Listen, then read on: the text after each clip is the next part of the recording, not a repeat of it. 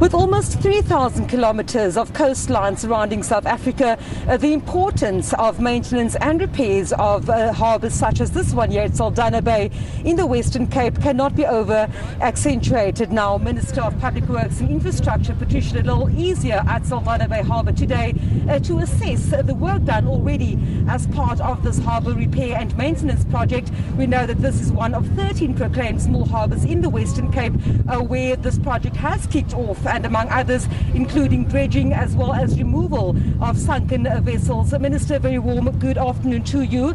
Um, we're just in the middle of a walkabout here at Saldanha Bay Harbour.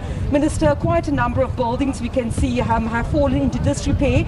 Also, uh, some work being done on the slipway here. Uh, just in terms of this project, um, we understand that it's important for uh, economies of small towns such as Saldanha, coastal towns, but also for the general economy tapping into uh, that uh, wider oceans economy economy that I was talking about earlier? Yes, uh, certainly, Vanessa. This is part of the government's economic reconstruction and recovery plan that we are upgrading and doing maintenance of all small harbours across the country. The particular one in the Western Cape, at a cost of 96 million rand, the Saldanha Harbour Bay one, so far, we spend about six million rand. We hope to create a hundred jobs for the, the, the, local people. But uh, the harbour, small harbour, can be a catalyst for economic development within the area. Besides the job creation of, of repairing this harbour that was built in 1948. So we are really hoping that by upgrading the small harbours, the 13 that are proclaimed in the Western Cape, it will be able to stimulate economic growth and create the much needed jobs that we need in our country. Minister, uh, we're standing on the slipway. Um, we're trying not to get too close to the ocean behind us, but I understand that this specific slipway is also being upgraded and yes. repaired to the point where um, t- uh, vessels um, double the, the size yes. previously will be able to um, uh, be fixed, repaired here. Explain to us the, the significance that has uh, for Saldanha Bay, but also the fact that they won't have to go all the way to Cape Town for repairs. What does it mean for this area? Yes, the existing capacity is 600,000 uh, ton, and we are create, I mean, we are upgrading it to 1,200 tons, so that bigger vessels can come in, and they can come here for repairs and maintenance. And so they don't have to go all the way to Cape Town for repairs and maintenance, but it can be done right here in Saldanha. So we hope to get this project done by March 2022 so that we can begin to get those bigger vessels also to come into Saldanha Bay uh, for, for maintenance and repairs and be that catalyst because what we want to see, we want to see this area being transformed. We want to see that the local communities have access to, to these facilities.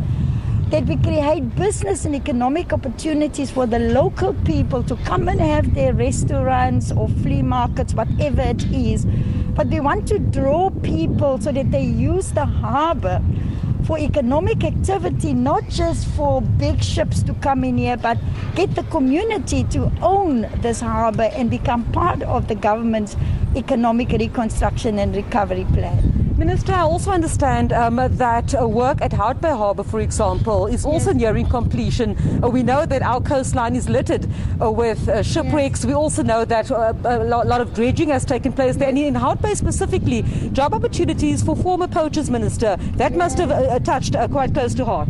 Yes, we, we are very pleased with the developments in Hout Bay. In fact, we have recruited former poachers. We've trained them, they were issued with the necessary diving licenses, including one female also. And so now they are helping us to recover those sunken vessels. And of course, there are great economic opportunities because once they've recovered those sunken uh, vessels, again, you know, the economic, it's, it's, it's, it's the, um, the remains of, of, of those boats that they also help us to, to finally get out into, into the market. So I'm very pleased with what's happening in Hout Bay because it's going to help us to stop the poaching there. And already the personal stories, if you speak to some of those divers with a real legal license, it's, it's, it's very moving. But it just shows you that you know, working together with government, we can improve the lives of, of, of people in, in, in of the coastal communities. Just the last question, Minister. Besides the upgrades and the maintenance of the 13 proclaimed harbours, I do know that there's also the Small Harbour Development Unit um, looking specifically at new harbours in other provinces such as the Eastern Cape KZN. Um, can you just tell us where that, where that uh, unit's work is at current um, and yeah. when we can see further developments or, or building of new harbours? In South Africa? Yes, most definitely. With the assistance of Infrastructure South Africa, Dr. Ramagopa here, um, we are now looking at doing a feasibility study of all the other harbours outside of the Western Cape that have not been proclaimed. And again, is to stimulate, be the catalyst by us upgrading the, the harbours and bringing facilities closer. That be the economic catalyst to create jobs. Uh, and, and, and that project has started. We will soon be moving out to, to the other provinces. Uh, Infrastructure South Africa is leading that together with the Department of Public Works and Infrastructure. Because as you know, we have gazetted the small harbours as a strategic infrastructure project last year. And therefore, it is getting special attention to where all our communities around the 3,000 kilometer coast of South Africa that they have access to, to the small harbours.